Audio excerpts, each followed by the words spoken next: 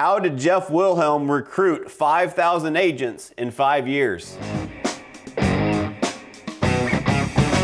right, welcome back, guys, to another episode of All or Nothing in Real Estate. We've got a great one for you here today. I've got one of my good friends, a mentor of mine, a guy that I look up to, a giant in the real estate industry, the one and only Jeff Wilhems. What's up, man? Hey, man, I'm doing I'm doing good. How are you, Matt? I'm doing great, dude. Thank you so much for taking the time to be here. Um, I, it's uh, it's great to get together. It's always great to catch up, and I'm excited for the knowledge and the information and the value we're going to bring to this audience today. Right on. Let's do it, man. Let's go. All right. So here's the big headline: How did Jeff Wilhelm recruit 5,000 agents in five years? well, you know, I, I I I love that headline, but it's it's actually a little bit distorted, Matt. You know, it's not Jeff Wilhems and Marsee Wilhems. It's it's an entire group of, uh, of, of solid, rock solid people that are that we're working with, and uh, but you know, it's it's just I guess I could say uh, five years ago, our good friend Brent Gove called me and, and asked me to talk him off the ledge from leaving his prior company uh, and joining this company nobody had heard of before. Uh, I think at the time they had 800 agents and uh, wow. and of course, I you know I'm always wanting to help my buddies when they call me, and and uh, if there's anything that uh, that I can do to poke holes in something to keep them from making a bad mistake, I will do that. But unfortunately, I guess, or fortunately, as, as it would be, uh, I was not able to talk him out of making a bad decision. The more I heard about this new company, the more I started checking into it. I found out that with us owning our own Remax franchise uh, and having my coach Bob Corcoran take a look at it, uh, we were like, you know what, this looks like something we should uh, be looking at, and um, took us a month or so to to, to kind of come to that conclusion that because you know having a couple of years left on your franchise agreement you know it was like we don't even know how to unwind this thing that we're in if we want to join this new company and and as it turned out we ended up uh, you know not only unwinding the franchise agreement, but uh, we had to pay to get out of it. It was about seventy-six thousand uh, dollars, and then probably another fifty or sixty grand to brand our business. And but we figured, uh, what the heck, we we give them six months, and if this no-name company uh, turns out to be what everything we thought it was going to be, then we'll stay around for another six months. And I asked my bride 37 years ago, Marsee, if she would. Uh, you know, I said, I know you're you're saying that you you you do and i'm saying i do until death do us part but i'm not looking for that commitment from you babe i'm only looking for six months. If you think i deserve a six month contract renewal then every six months she comes back and i ask her if she wants to go another six months. And and that literally was 37 years ago. So uh, 74 contract renewals bro. That's awesome man. Congrats. And I, i'm fortunate to know marsee too and you guys are amazing. You're contributors to this industry to our network. Um, man, 5,000 agents in five years. And guys, if you listen back to what he just said, he didn't take any of the credit. He said it's because he's been able to partner with amazing people. That's the kind of guy that we're talking to today. Um, so, other than his accolades of recruiting all these agents and making a, a life changing decision to change brokerages from the traditional model to an up and coming model that had 800 agents, right? Like, think of the guts that takes. I want to really break down how crazy it was. I'm sorry. I mean, I was with a company that had 100,000 plus agents and the biggest brand worldwide at the time, Remax. Uh, but but yeah, it's it's it's. Uh, I'm sorry. Go ahead, Matt. no, man, that's that's great. So it's like, and I want you guys to understand truly. Like, we jumped straight into the 5,000 agents, but it's not like Jeff and Marsee were selling two and three houses a year, right? Like, you guys had one of the top teams, if not the top team in your area in Arizona. Like this was a big decision for you. So let's talk about what did your team look like then versus what does your team look like now? Okay, that's that's fair. Uh, well, back then we had uh, roughly 14 agents on our team. Uh, about four of those agents uh, are really not in a, any kind of a production role; they just have licenses. So all the business was really coming out of about 10 agents. Uh, but we started our journey with Remax back in 2004. Uh, it was just my wife getting started uh, basically as a favor to me as a lender at the time. Uh, I asked her if she would go get a real estate license so we could legally earn a referral fee. Because I was doing a lot of marketing for real estate agents as a lender, hoping that with all these buyers I was getting pre-approved. And, and then even it turned into sellers that wanted to sell their home because we marketed for free home evaluations online. And people want a free home evaluation for two reasons. They either want to refinance their home or they want to sell their home. They want to know what it's worth to move on. And I found that leveraging those leads with real estate agents was a pretty powerful way to, to get what I wanted, which was their referrals on other clients. Uh, and some would play the game pretty well with me, and others would take my referral and end up referring them to their already existing lender. And then they would go uh, close this transaction, and then we weren't getting anything off of it. So that's where I asked Marsee that if she could get a uh, get her license. And when I referred that business, Matt, to an agent, if they ended up not using our company for the loan or the mortgage referral, uh, then at least she would get a real estate referral off of it. Sure. And so then it turned into that into, hey, I've got this couple, they're pre-approved. I think you'd be fabulous at taking them out, showing them a home. And uh, the next thing you know, uh, that you know we're we're showing eight or ten homes out there. Her and I not really know what the hell we're really doing, but uh, the, we had such a great relationship with this couple then we brought these people into our broker who actually, Marsee was like, Becky, I've got good news and bad news. And she says, Well, what's the bad news? And I said, Well, the bad news is I need to write a contract and I've never written a contract. She says, Well, what's the good news? She said, Because I got a contract. I need to write it. And so Becky, her broker at the time, which is crazy, she's working on our team now today. Wow. Here we are almost 20 years later, 18 years later. But Becky was the kind of person she says, Marsee Hun, you bring the you bring your clients in and you introduce me as your assistant. I'm not your broker, and I'll just act like that it's no big deal. And like we do this every day. And I never have forgotten that. And so, and Becky went to from Remax to, to, to Long Realty to, you know, she, this lady's been around real estate forever. She uh-huh. sits on the board with the Arizona Association of Real Estate, uh, the ethics committee. Uh, uh, she, she's in on a lot of these complaints that are filed and, and basically a judge in, in the cases for arbitration and all kinds of stuff now. But um, to, long story short, we started small. It was just Marsee and I. We built it into a, a, a one buyer agent then that buyer agent, we got moved to the listing agent side. That buyer agent now today, 18 years later, is our sales manager, Bert Jones. Uh, you know, and then he ended up helping us uh, attract a few more agents and, and so on and so forth. We went up, we went down like any other team.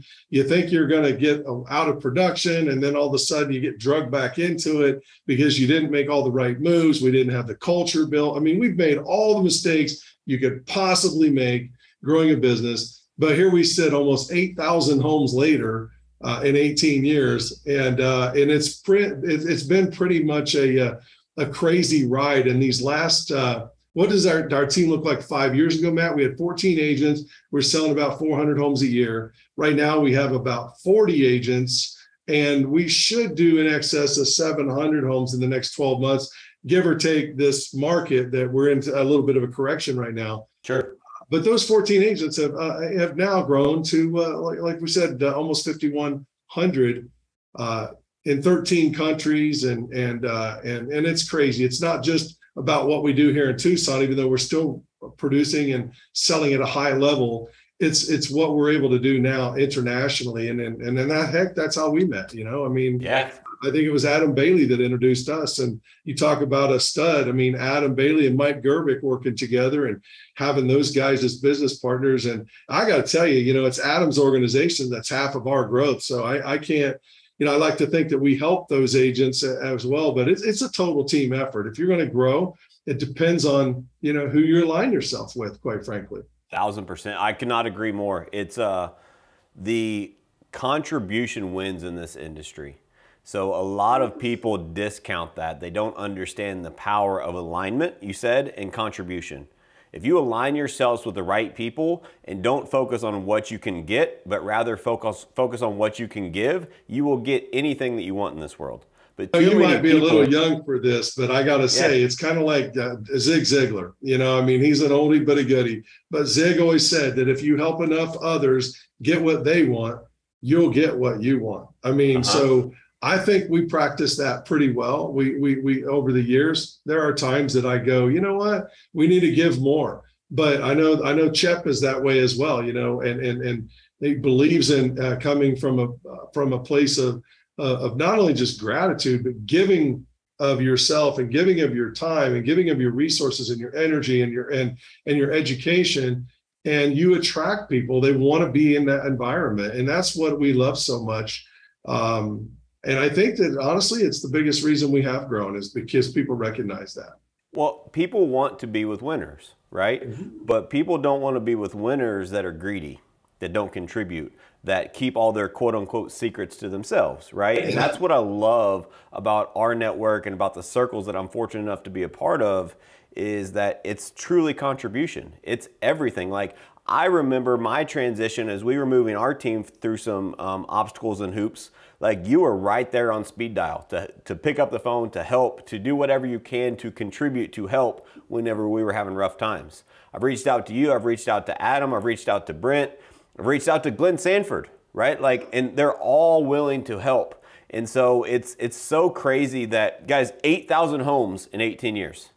Like this guy knows real estate. But his biggest secret that he just gave you right there is he always focuses on what can I give? And because of him having that giving heart and that giving personality, he has received far greater gifts than I, I, would, I would imagine that he ever thought was possible because he focused on giving, not getting. Yeah, you know, when I look at the 1099s that we've been issued the last couple of years at EXP, it's mind-boggling to me. I mean, it's it's numbers that I never even thought would be possible in our business, but it's but it's really to be contributed, I think, because uh, we have so many people that are winners and and and we have so many people that that get it you know? I mean they get it. They know that it's all about coming from a place of giving and they come from a place of love and we're we're giving people hugs and we're not being jealous of each other. Right. uh, you know i mean all of these crazy things. I think a lot of what really helped our team see this too was uh, and i got to give my coach bob corcoran uh, uh, a lot of love here. Back in the day, uh, Bob does more consulting than coaching now, but the five dysfunctions of the team, as you know, is a really, really big deal.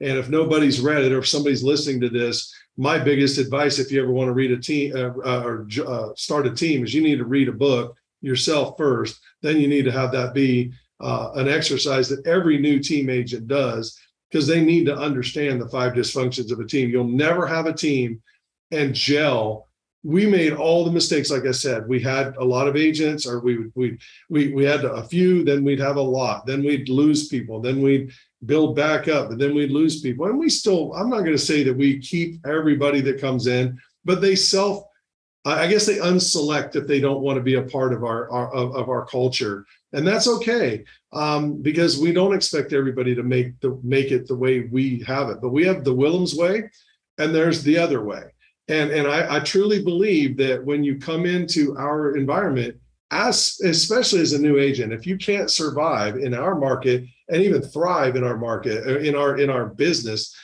then I don't think they got a chance on their own because we do so much from from a lead generation standpoint, from a training standpoint to a and and everything we do. Matt, here's what's really cool.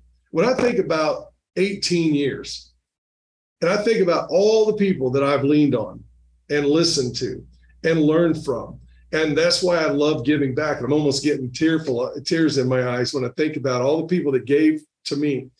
All we've done is copy what works, man. I mean, there's very little that we do that was Jeff Wilhems or Marsee Wilhems originated, man. Our TV commercial ideas came from Russell Shaw up in Phoenix. He was the the original you know monster that that was on television that we just followed and we knew and he took us under his wing and he gave us guidance that I'm telling you we never would have figured the TV and radio game out without Russell. Then we come along later and meet a guy named Matt Wagner and Matt Wagner takes it and steps in and puts it into a whole other gear for us.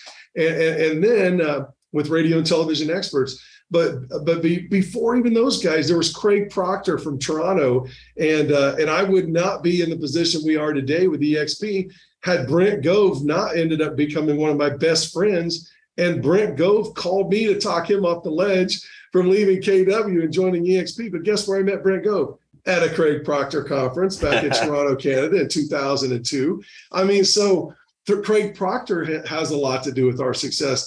I the very first uh, the very first buyer that Marsee received that I was talking about earlier that I said, honey, we can go sell these people a home. They love me. And I told them you're a great negotiator. You're like a barracuda with lipstick. She goes, What? I have never done the first deal. I said, You got to fake it till you make it just a little bit. Come on. You, you got this. We got this. I, it's, it's going to be easy.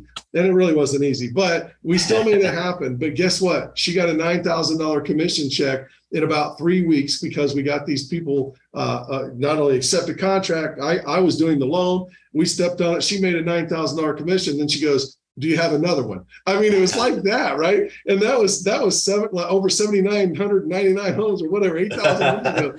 But Matt, here's the thing: we never ever are afraid of taking a chance. We always are willing to step out and and and do something that others won't. But i don't look to try to reinvent the wheel.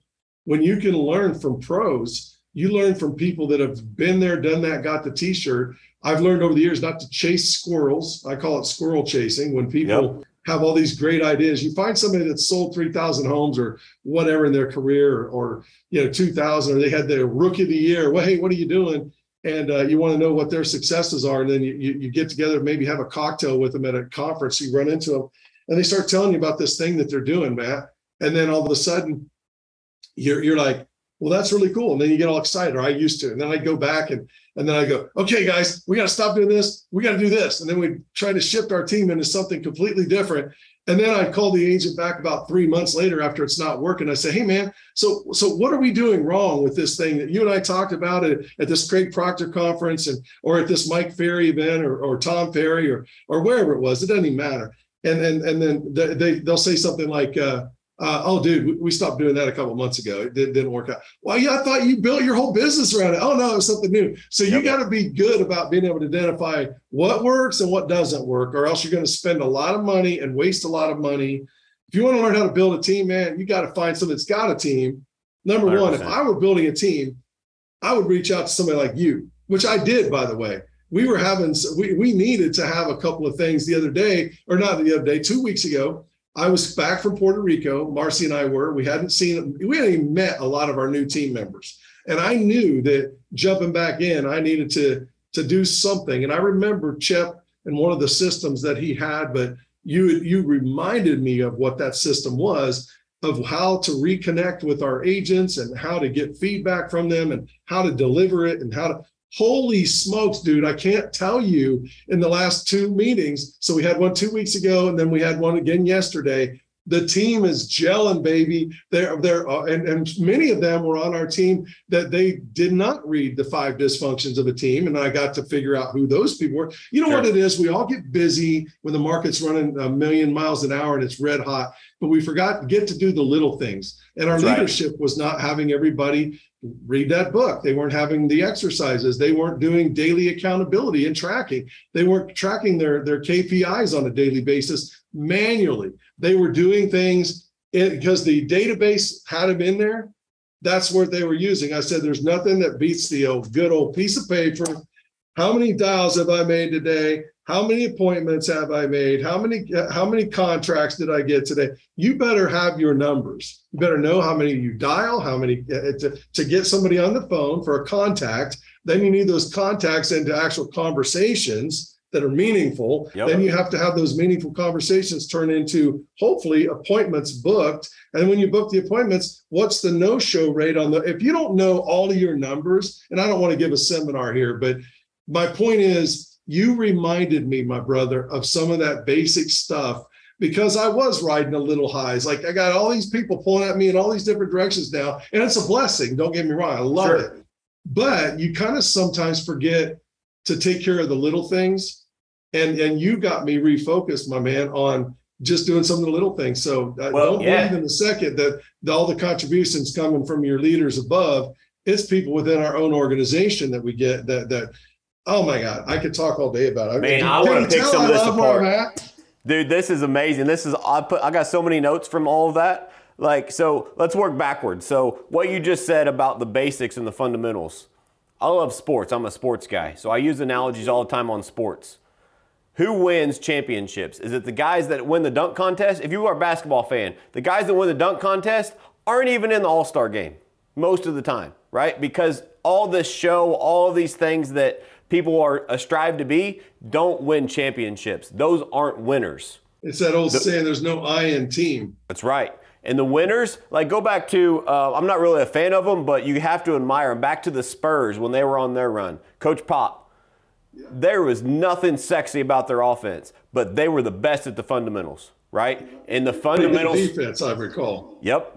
Yep. Defense and fundamentals win championships. Yep. That correlates in sports. No sports fan will deny that.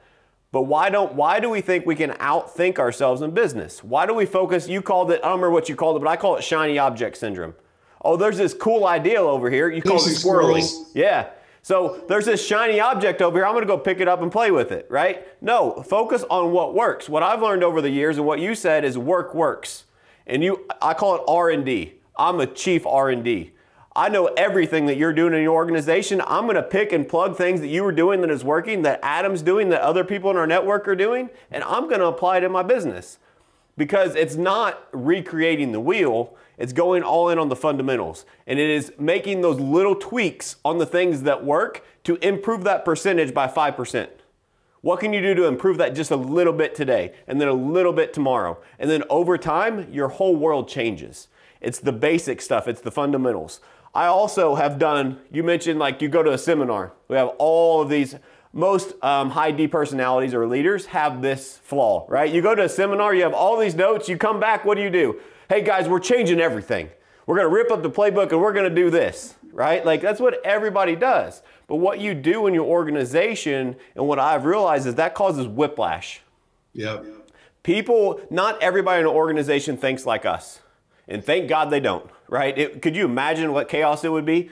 Um, but they need focus. They need a playbook. They need, here's what wins. And so create that playbook and remind them the little tweaks, the little things that they can do better so it can be duplicatable and it can be scalable.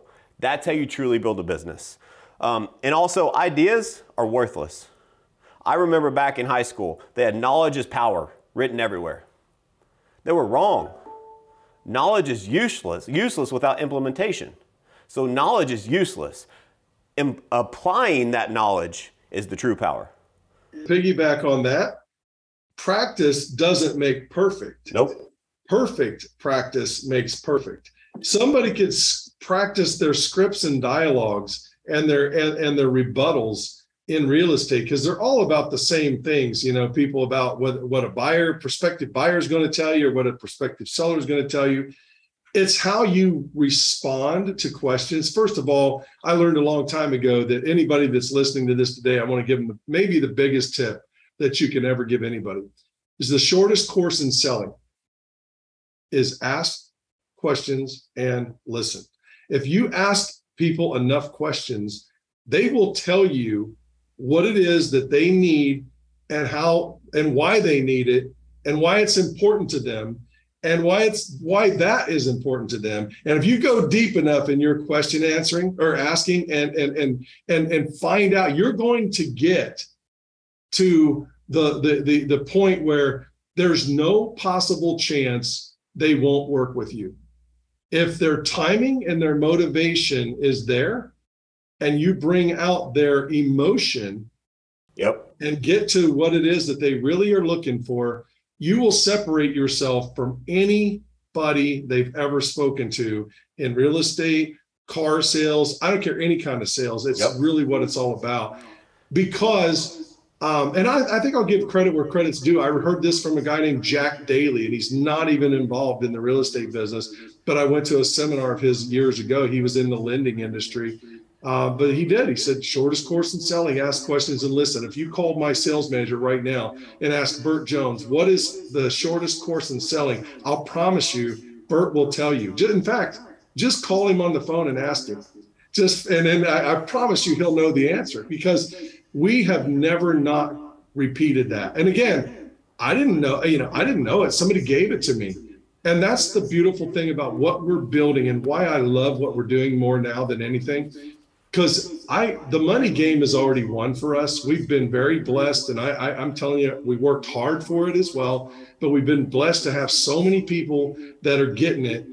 I don't think that that we really have anything to worry about there anymore. Now it's like, how many more lives can we impact? How many more people can we change? I got back from Build at our event with Tony Robbins and realized I was. How amazing was that event, by the way? Huh? How amazing was that event? Oh, Dude. goodness. I mean, well, the fact that it's not every day Tony Robbins grabs your big bald dome that I have. Dude, that was so funny. and then he puts a big kiss on the top of my head. But you know, he's I've been following Tony since the uh, since the 80s, right out of the army. When I got out of the army, I used to drive up and down the road with cassette tapes back then, listening to Tony Robbins when my friends were more concerned about where they're going to go grab their next beer or or or you know what party we're going to go attend. Uh, and then they wanted to listen to music, and I made them listen to uh, self-help uh, cassette tapes and and things. So, uh, but Tony was the first guy that I, I set up one night and, and watched uh, on television.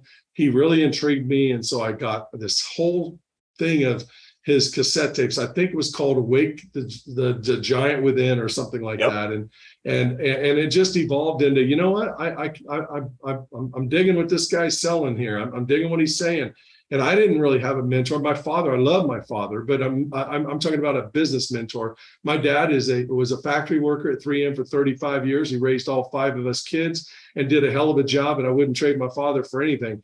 Uh, but I didn't get any guidance from sales. Uh, I didn't go to college. I didn't meet anybody else. I was in the army. So when I got out of it, I had to f- start finding the answers out on my own. And I knew that if I hung around successful people, if I read enough books, that I could pick up some tips from people that were successful. And man, you just got to copy. That's how I met Russell Shaw. I read about Russell Shaw in the Millionaire Real Estate Agent book. And even today, uh, well, he probably doesn't even remember, but years ago, I, I, I, saw Gary Keller and I, and I went to, up to him uh, at Keller Williams and I thanked him in person. And he goes, What are you thanking me for? I said, I want to thank you for making us into the, the agents that we are today, and we're not even in your company. He said, How'd that happen? I said, because I read your red book, The Millionaire Real Estate Agent, and I read the interviews that were done with your top agents. And then I reached out to those top agents and I said, I don't have a lot of money. My wife and I are just starting a team, but I promise you, we'll never be in your backyard and compete against you with our team. If I could just come up there to your place, be a fly on the wall, I'll I'll make a donation to your charity. I can only give you a thousand dollars or two thousand bucks. That's all I can afford. But if you'll let me come and spend a half a day with you and interview you, and then you could uh, maybe share what we're doing or what you're doing, and I could share what we're doing, maybe something really cool could happen out of this. And I promise I'll never compete with you. And uh, you know what? Russell said yes to that. And he was That's pretty awesome. cautious when we first met. But then after we met, we're in Tucson, he's up in Phoenix. Man, the guy laid everything out to us. He was proud to tell us what it was and, and what he was doing that was successful. People love to talk about what they've done that are successful if they know that your heart's in the right place. And uh, and I believe I gave Russell a check, and Russell handed it back to me the second time we got together. He goes, "Man, I don't need your money. That's what that's winners awesome. do." And so right. that so I only say that story because that's where we're at with EXP. When people reach out to me, man, I don't need their money. I want to help them because I, all I feel, I look at it uh, like I'm paying it back or paying it forward or whatever. Yeah. I, I, don't know. I'm, i feel like I'm rambling now, but I got no. It goes. It, all that goes back to all that just goes back to contribution. That's just who you are, right? And that's that's why you've built what you've built. Um, there's so much I want to unpack there. Um, you said practice doesn't make perfect. So Jeff, you're a golfer, right? So you'll understand this analogy. When people say, "Well, practice makes perfect," if you go to the driving range and you're there hitting balls for three hours, is there any way that you can leave the driving range worse than when you got there? A hundred percent. Absolutely. If you're practicing the wrong things. Yes. So practice doesn't make perfect. You have to practice the right things in the right order, and then you you actually make progress, right? I say perfect practice makes perfect. Yep. But I love that driving range example because people can actually relate to that, right? But just because you're hitting balls doesn't mean you're learning anything. And it can be something as easy as people think just putting on a putting green, just making putts over and over and over and over uh, on a straight putt. That's easy. But when you start getting these the, the greens that have different undulation, and I look at that like it's going to curve to the left or it's going to curve to the right. Well, when you look at that, or how much downhill is it? How much uphill is the putt? Those are all just different variations. Well, when you're talking to a buyer or you're talking to a prospective seller, they're all going to just give you variations but you need to know how to handle that variation. So if it's a right to left putt, are you going to aim straight at the hole, or are you going to aim a little right of the of, of, the hole when you're making that putt? Yep. And and and then how far right do you need to aim? Well, you know what? The same thing works on a script with with a buyer. You know, are you thinking about making a move? No. Well, uh, well, I don't know yet. Well, if you were to move, you staying in the area, you move it away. I don't know. When do you think that might be? I'm, I'm, establishing timing and motivation. I'd love to just call you on the phone and say, "Hey, Matt, are you going to do it? When are you going to do it?" Yeah. they're not going to. They're not going to like that response. They're, they're going to need me to ask a few questions, man. And then and then once I find out, so tell me, uh, you know, if you were to stay in the area, uh, you know, what's got you making a move? And uh, well, you know, we're, we're, we're honestly we're talking about expanding the family. My, you know, in fact, we're past talking about it. My wife's three months pregnant, and we're and we're gonna be. We need a bigger home. Great. So why is that important to you? Well, when I was a kid, uh, we we were all crammed up in the same bedroom, and I we've got a we've got a youngster right now, but we don't want the baby in the same bed. Well, so why is that important? Because I want the kids in separate rooms. I I, I didn't like that. So look at man now, anytime that they say that they're on the fence and they don't want to go look at homes, hey, remember, you don't want to share a bedroom. You don't want your kids sharing a bedroom. You told me about it. And that's just one little example, yep. but they're telling you what's important to them, why it's important. And now you're going to go find them that house with the appropriate amount of bedrooms. I don't know if that makes sense. No, that makes total sense, dude. That's such a great analogy because I'm I'm a pretty simple guy, and so my definition of sales is solving problems. If you want to be a good salesperson, be good at solving problems. But most salespeople fail because they forget the old rule of two ears, one mouth. Yeah. You you're supposed to ask twice, as, listen twice as much as you talk. Yep. Sales is not talking. Too many people as sales agents t- talk at people and not to people. You need to ask great questions. Sales is not about what you say, it's about what you ask. And you get to know them. And I have a saying I say all, all the time around my office the what doesn't matter, it's the why that's behind the what. So if you don't get to the why, you wasted the conversation. It doesn't matter what pro like let's use this analogy, just role play it. Like how many agents hang up on the client on accident, not literally, but they they do because they're talking about oh 123 Main Street, that house on 123 Main Street, and that client's no longer interested in that property. The agent's stuck. They don't know where to go. But what about why were they interested in 123 Main Street? What did they like about the property? Why was that important to them and their family? Now, when you have that motivation, now you can build, a, establish a connection and a relationship, build that rapport, and then you can truly help that person. But if you focus on the what, it, you cannot go anywhere. You're just an order taker. And if you really want to help people, you want to be a good salesperson, figure out how you can get, get great at figuring out the true problem, the root of the problem, and then solve it, and you will make all the sales in the world. So, Matt, to piggyback on that, and that's such a great point. But when somebody's calling on 123 Main Street, what comes out of my mouth, and hopefully it comes out of every agent's uh, mouths on our team, is that yes, while I'm looking that up, let me ask you a question if it's okay. Are you only interested in this property, or are other properties in, uh, of similar nature of interest to you as well?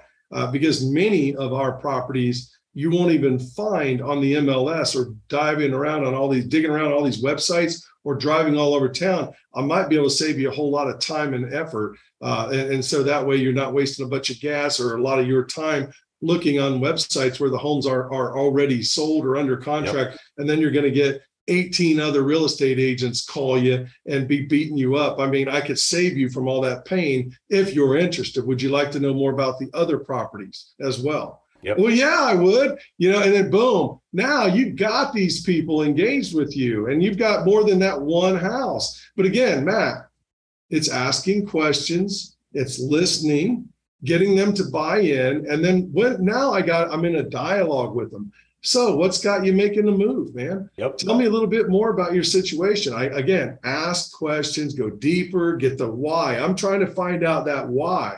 And I'm not trying anything. Bob would when he see that. He'd pull out his hat. Exactly. He's got his tri hat, his drill sergeant. I'm not trying anything. I'm getting to their why.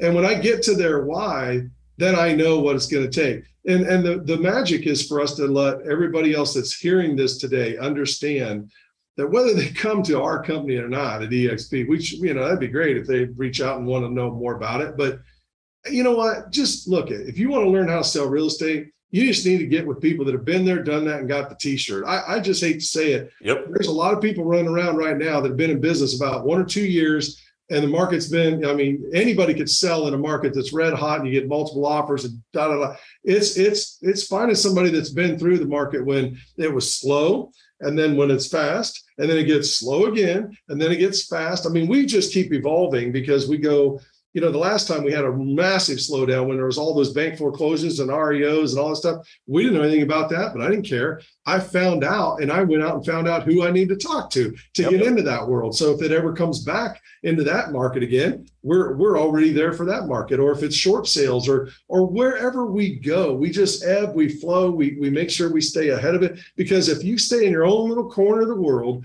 and you don't get out and start talking to people and making friends all over the place or having a network, holy crap, I can take here. You want to know power. And of course, you already know this, but if I want to know what's going on around the country, having the access of 5,000 agents in one text message, how's your market conditions? Report back. And then where, you know, how are they? uh, shoot me a quick text back. I'm dying to know, and then what city you're in. And then I send a blast like that. I can find out everywhere what's going on. Yep. And by the way, I can also have an amazing database of, of people to refer business to that I know close transactions because I know the ones that are in our network that are selling and the ones that aren't selling a lot. so, you know, I don't know, man. I'm, I'm sorry. You're no, probably, no, this is great. So there's a couple things I want to unpack. Is number one, R and D Make sure don't don't recreate the wheel. Right. Success leaves clues. 100%. Follow people that have been there and done that. Like one of the reasons I'm doing this podcast, I'm doing this is to give back to agents because I think there's so many people out there giving the wrong information.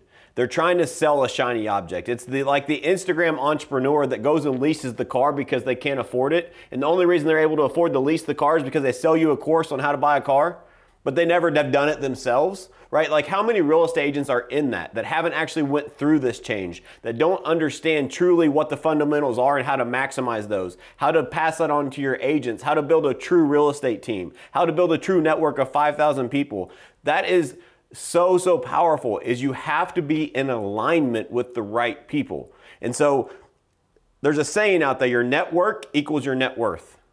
And I am where I am today because of my network, because of people like you, because of people like Adam, because of people like Jon Cheplak that are fortunate to be in my network, in my circles, and being around you guys. Like literally, I have skipped so many steps because you paved the way ahead of time. Adam paved the way ahead of time. And as I was growing my team, growing my organization, as my agents were having struggles, you guys helped solve that problem before I took the wrong path. And when you're able to have the cheat code to what is happening in this market because of people like you in our network, it is not fair. Like, literally, we have such an unfair advantage. Yeah. In, in partnership with great people like you because we know how to get through this market. How many agents right now are like panicked? They don't know what to do. They're frozen. Like, I'm excited.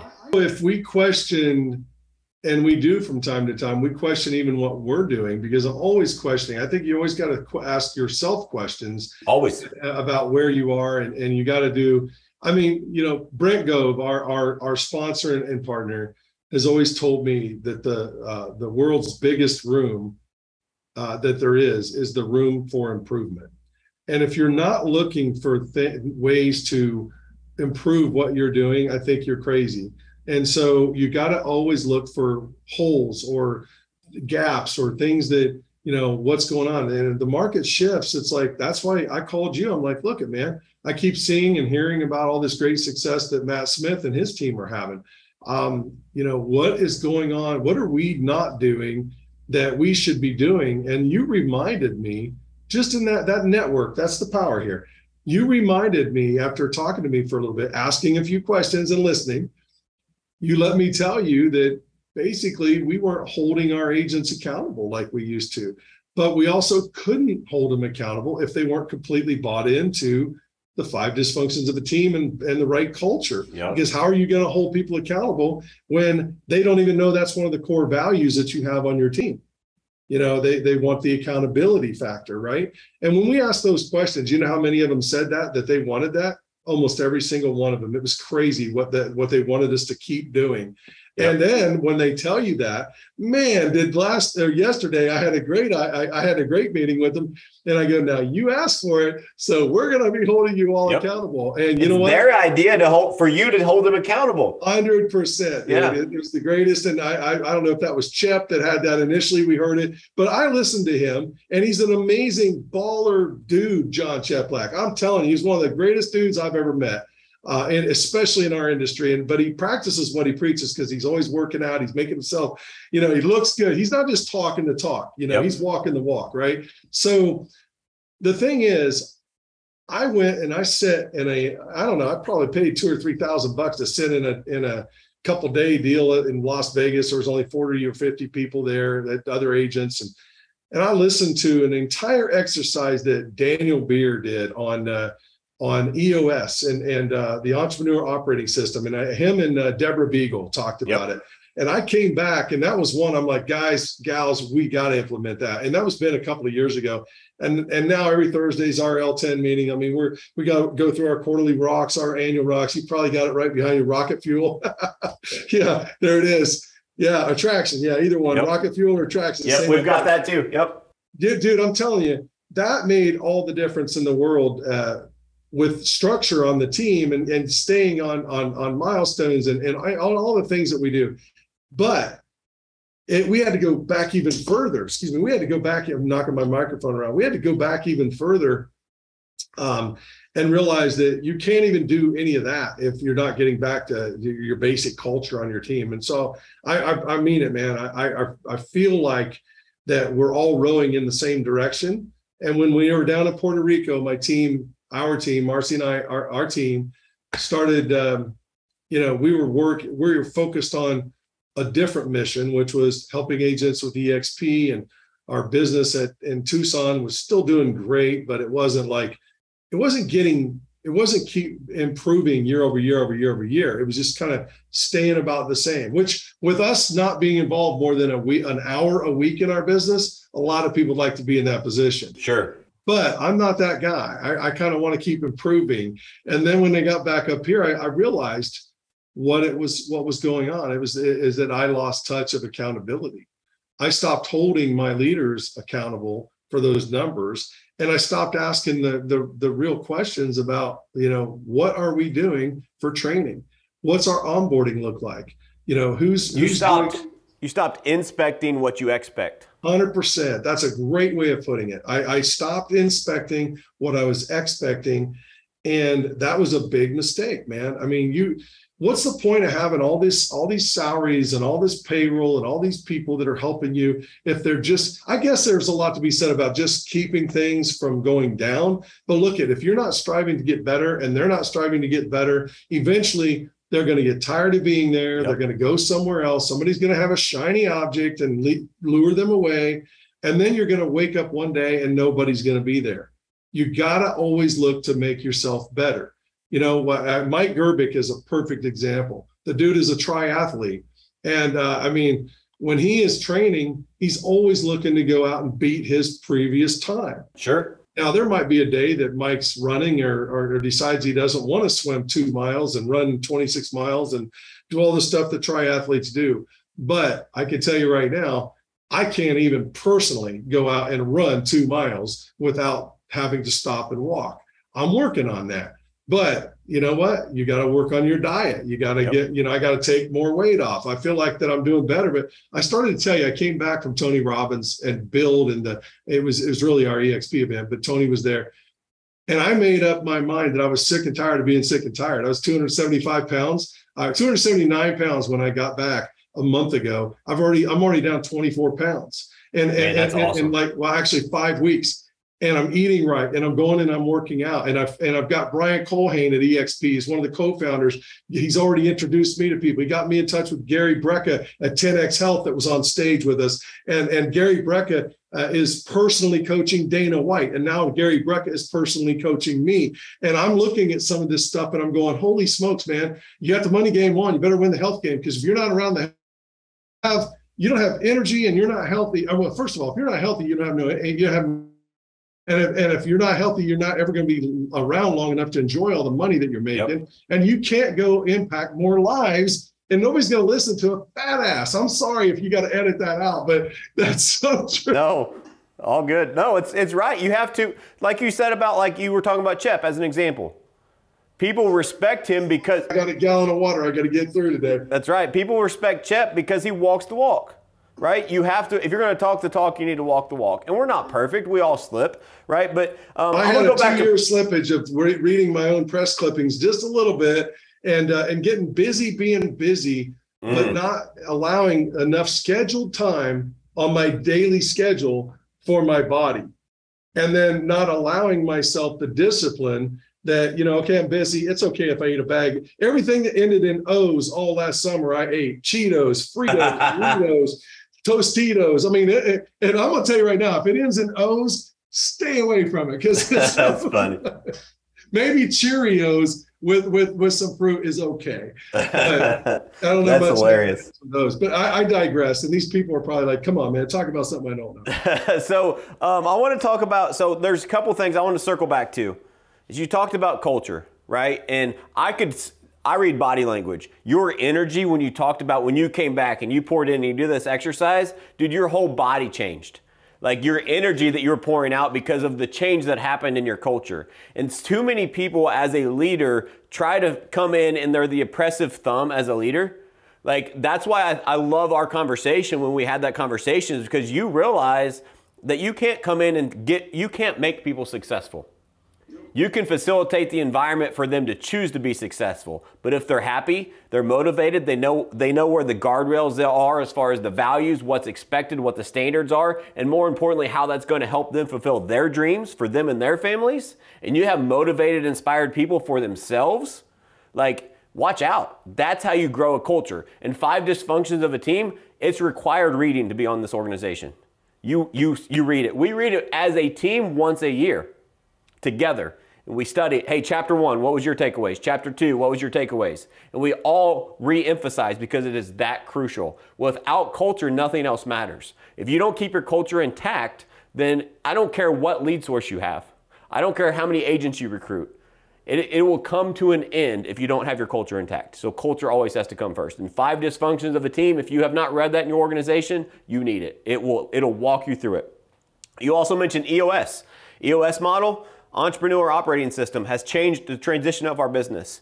We run our business like a business now. Too many real estate agents don't. I highly recommend that you look into that. If you guys need help on that, as you're listening to this, reach out to me. I'm happy to, to, to walk you through that. Uh, Jeff mentioned Rocket Fuel is a great book. There's also a book called Traction. Um, those kind of explain it. Um, also, one that I just finished with my leadership team is Four Disciplines of Execution. Jeff, I don't know if you've read that or not, but I highly recommend it. You want to talk about disciplines of execution? Four disciplines of execution. It's similar to EOS. It's kind of an operating system. Um, we're going to still run EOS, but we're going to use the the the the takeaways from four disciplines of execution to actually execute on those things. Like there's too many good ideas that don't get executed. Whenever we talk, man, because now I got another homework assignment. Because if that's right, I'm going to read it. Um, all right, so I'm going to wrap this up, Jeff. Let me just say, tell you this. Yep, I want to show you something. Yeah, I, I, was planning on having this to replace my uh, I'm proud of EXP, but I wanted to get some different logos. I don't know if you can even see this. Yeah, dude, I'm proud of this. I just ordered this thing. It's my new, it's my new American Express card. Dude, that is awesome. So, so, so what it says, and I don't know if the, if the camera's even picking this up, but it says American Dream, make your own luck. Hustling since 1976, baby. Jeff Wilhems. Uh, you know, uh, valid, valid through uh, January, or, or excuse me, June of 2090. So I, you know, I'm planning on being around a long time, man. I, I know that, you know, I'm, I'm 56 years old. So, so 2090 means I got to live to about 135 years old or whatever. But I know that I would never do it if I, I would never be able to do it if I don't get that health right. But I had to order that because I'm going to put that up behind me and, and let people know that you have to make your own luck. Yep. You can't say you want to, you, you, you know, you, you're going to try to do this or you're plan you know you're you're you know I, I, don't know what i don't know. You fail to plan you plan to fail man. You've got to get this right. You've got the number one word in the world behind you persistence. If you don't have persistence and you're not willing, if you get smacked in the face and you get told no or how whatever, you get knocked down, man, you got to get back up. If I told everybody here on this call, and I, I don't mind telling them, dude, I've been so broke I couldn't even pay attention. When the yep. trash man came by, I mean, literally after Marsee and I first got married, if if the trash man was coming by, I would literally want to ask that dude to leave three bags. I mean, that's how bad things were for us. I, I know from um, from from what what it was like when when we literally were diving. I not Marsee, she never did this, but we were so hungry, and I was too proud to go get on welfare or food stamps or any of that kind of stuff. And it was about another four days until I was going to get my first paycheck. And she was, I think she was about um, at the time six and a half months pregnant with our first baby, and and he didn't make it, and unfortunately. And, and I can tell you that I, I never have forgiven myself quite for that because I, I think part of it might have been her not having the uh, the the nutrition that she needed because really all we could afford to put on on the table at the time was she had some prenatal vitamins that we were able to get a friend of hers loaned her or gave her whatever. But then we're eating potatoes any way, shape, or form that you could. But I went out one night because I knew as a kid I worked at a, at McDonald's, and I knew that after about ten minutes of food sitting in the in the in the little things that they put the food down in back in the day, you know, I just they would yeah. put the sandwiches in a little tray. They kind of come down, and if they stood stood up there under the under the heat lamp more than ten minutes, they had to take them out of the window, and then they would put them in a in a bag all the food would go into one bag and usually there would be a farmer that would come around and pick them up or somebody in at least in my hometown in indiana they'd come by and they'd feed that stuff to their hogs you know and, and they would just have a contract well i knew a lot of the mcdonald's had the same thing and either they were picked up or if they didn't pick them up they threw that one bag of food would be in a dumpster dude one night i went down there with my buddy scott in in uh, in albuquerque new mexico uh, Scott Hayden. I couldn't even tell you where Scott's at today, but Scott was letting Marsee and I live with them. And this is right after I got out of the army. And we were all hungry. And I'm like, dude, I, am not going to go get, I'm, I'm, too proud. I won't do this. I was looking for pop bottles on the side of the road, man. I was, I was, maybe I'm boring your people with this story, but I want them no, to great. understand this is, this is who I am. I would not ask for a handout. I was too proud to call my dad and ask him for money or anybody else And we're going to get through it. It's only four more days. We can make it happen. Hell, I mean, you know, we could fast if we have to. I could, you know, but I got really hungry. So I die. I, I go up over this fence where they had the dumpster and all the food for McDonald's in Rio Rancho, New Mexico. And I had Scott throw a five gallon bucket up over the top. And it was like after they closed late at night.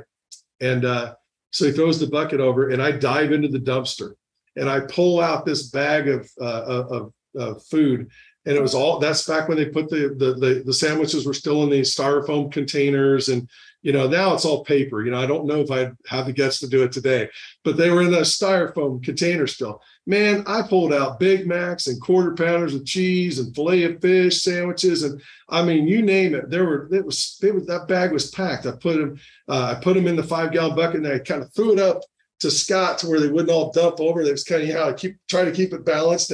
So I threw it up over the top of the fence and he caught it on the way down. We lost a few of them, but we got back to the house. And man, we were warming up burgers and, and all this stuff out of the dumpster. and but Marsee still wouldn't eat them. She goes, You can tell that story all you want, but you make sure you tell people I never ate them. and I did, and our bulldogs did because we had two bulldogs and they ate the hell out of them. But but I'm telling you, it wasn't real fun. And and and and and I can tell you it was hard and hot to go out and try to find uh, soda bottles on the side of the road and turn those in for money. But I knew we could get those if we went out and did enough work. Man, I'm going to tell you something. Every time I start thinking about how great I have it and how successful we are and how how easy the world has gotten, when I need motivation, I think back to those days I'm never, ever in my life going back there again. And I'm saying, I'm saying to anybody that's listening to me right now, if you want to, you want drive and you want motivation, you want something inside you that you need to have snap and get you to think about being successful, you need to take yourself to the deepest, darkest place you've ever been in your life when you're the most down and out. And you need to put that thought in your brain. And this is Tony Robbins coming in you it's all about the figure eight of emotions and you take yourself down there and let yourself really understand how painful that was and why you don't want to be there and you will find the energy you will find the the drive to get up off the mat and go out there and build something and not be feeling sorry for yourself. I'm telling you, man, that's all I do. Maybe it won't work for everybody, but that's what works for me. Is I, I take myself to a place I never want to ever go again. Dude, thousand percent. Thank you for sharing that story. And so, I'm sorry. To, no, don't be sorry, man. That was great stuff, and it's so true. Like I can relate so much. So, uh, first episode of this podcast, me and my wife spent two and a half hours telling our story and our struggles. And like Jeff, I don't know if you've heard it or not, but part of our story was there was a time I had my six week old firstborn daughter in the hospital to visit her mom. They locked me out of the hospital. They came out in hazmat suits and says you can't go in. I don't take no for an answer. I got in. I had to put on the suit. They said we'll let you in, but we're only letting you in to say goodbye. You have 24 hours to tell her goodbye. She's dying. What? She pulled through, everything's good, but that's part of our story. That's my dark spot. I'm never going. And before that, we want to talk about being broke? All we had was diapers and formula that other people got. My, I, I was too proud too. You and I are way. That's why I relate so much. my uncle came over to visit his niece at that time, right, my daughter, um, and looked in the fridge to get something. He was going to get a snack. Cussed me out from one side up one side down the other. You can't live like that. We had nothing in the fridge, right? We just couldn't afford it we had electric bills stacking up. I'm like, I'll figure it out. I'll figure it out. I'll figure it out. Right. So I can relate so much to that story. Um, and it's, you can use that as fuel. You can use it as fuel or use it as an excuse. I call it victim or victor. I choose to be a victor. I, I, I own everything in my Funny, life. I never really thought about that. Is Victor or what do you call it? Victim or Victor? There's victor, too many people that have the yeah. that vic, victim mentality. Well, life happened to me well, all, I'm not where I want to be in life because of him, her, or all, whatever circumstance. What you and I have in common is we used those, those trials, those tribulations, those struggles as fuel to never go back. Right. And that is what we use to continue to strive to be better because we made that choice. Well, I truly think that um, that what's exciting now, and I think maybe it's being 56. I feel like a dinosaur in our business at times now, you know, because we got in it so early. But well, pretty early on. I mean, you know, we were over 18 years ago. Before that, it was 14 years as a certified mortgage planner. I mean, there's been a lot that's happened in in Marsee and I's life. Uh, um, you know that, um, yeah, I don't know, just just a path of being around the industry. Sure. But I, I can just tell you, man, I'm getting more joy out of being able to share some of this wisdom because if I if we can just make somebody's life a little easier yep. to get to that point so they don't have to go through a lot of the uh, trials and tribulations and and wasting money and and all this time and I mean because time is so precious and if I could do anything and we all can't but if I could I'd like to go get 10 more years back of my life. Yep. And and I know had I opened my brain or opened my mind first, then allowed myself to drop my ego you know, because I think the ego is the biggest mistake, the biggest thing that I really had, even up until heck, I still fight it today at times. Sure. I mean, if I'm being honest, I do. Um, but the most expensive thing in the world that you can have or or or, or fault is is an ego. Yep. So you know, if you will, if you were just listen to to what people are trying to tell you, or not trying, people are telling you. Sorry, Bob uh, you know but but you know what i'm saying i mean if you listen to what they're what they're teaching you can you can save yourself a lot of pain and suffering and so we we took what i considered to be the shortcut approach. Yeah. And and and, and let me tell you it could have been a lot shorter had i not when i first started becoming successful started reading my own press clippings yep. and you know worried about how much recognition remax was giving us and whether they were you know and they were doing a lot with us back in the day. They were flying Marsee and around Marsee and i around and and putting us on the remax satellite network and all this kind of stuff. But then i started a coaching company because i thought i was hell i knew it all. Guess what man? I was just starting to figure it out. And i see that today and that's where i was going about 30 minutes ago. I, I you know i i see 100 coaches out here now or 1000 yep. coaches. It seems like there's a great great. There's one. Uh, there's a coach for every good agent that's out there now today. But I can tell you, that's what a good market does. You want somebody to. You want a mentor that has been through all of the markets. Hundred percent you know, you know nothing, Jon Snow. I mean, I'm telling you, people need to understand they know nothing. I know nothing, Jon Snow. Yep. I'm going to listen to the old Meister, what is this, the Meister or whatever the guy's name is, you know, that's been around a hundred years because that's who that's who's got all the knowledge, man. Hundred percent. Yeah, and so let's. I'm going to wrap this up, Jeff. Dude, thank you so much for taking the time to be with me today. And thank like, you I want to end for everything that you and your team does. And and uh, heck, we got to do some team functions together, man. Even sure. if it's by Zoom, we but we got to do some do some script offs and stuff. That'd be great. Yeah, man. I'm I'm down. Sign me up. All right. Um, it's we. I appreciate you. We would not be where we're at without you. You've been a huge part of our journey, so I appreciate you. Um, and I think going back to what you were saying, like um, really contributing and making an impact on people's lives and following the right people that have been there and done that. Like I just want to end on this. That is the true power of our network. It really is. Like I'm living proof. Like we are fortunate enough to be number eight ranked team in the nation, number one in the state of Missouri because of this network. Because we were able to follow proven playbooks and skip steps and do things because other people paved the way. And in this network, we're contributors and we share and we help each other. And so if you're struggling out there, if you're worried about this market changing, if you're worried about the shift, the normalization of the marketplace, um, reach out to us. Jeff, I'm, i know Jeff is a contributor, would love to help. I always would love to help. So anything that we can do to help, um, Jeff, I signed you up for that. I hope that's okay. Uh, but I know I know your heart. I know you're a contributor. And if anybody wants to reach out, um, how do you how do you want them to reach out to you? I just like to like. Yeah, I think the best thing that people can do is shoot me an email to Jeff at Wilhems.com. It's W I L H E M S.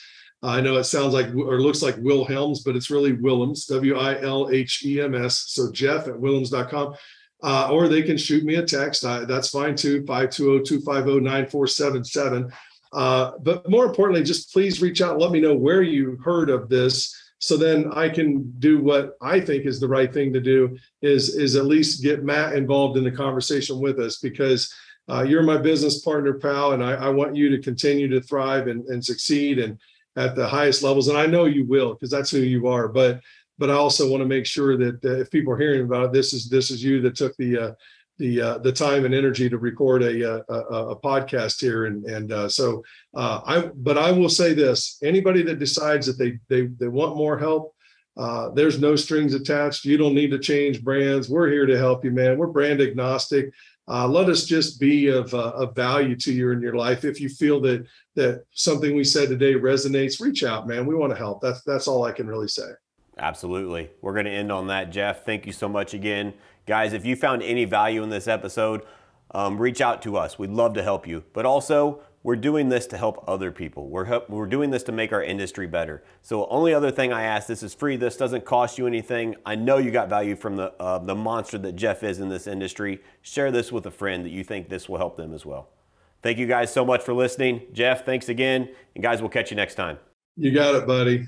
My pleasure.